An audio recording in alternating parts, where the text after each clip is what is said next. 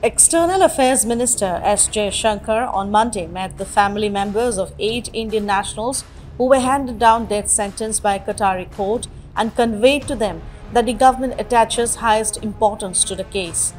Jaishankar also told the family members that government will take all efforts to secure the release of the Indians. The eight former Indian Navy personnel were on Thursday handed down death sentence by Qatar's court of first instance. Meanwhile, India termed the ruling as deeply shocking and said Indian government pledged to explore all legal options in the case. In a post on social media platform X, formerly Twitter, he pointed out that the Indian government attaches highest importance to this case and will continue to make all efforts to secure their release.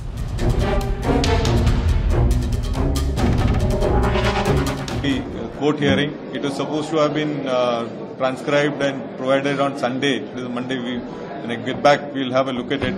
But you have heard the uh, the uh, uh, MEA statement on this. Every effort is being made by the government to ensure that uh, you know we we take up through the legal course and find uh, relief for our personnel.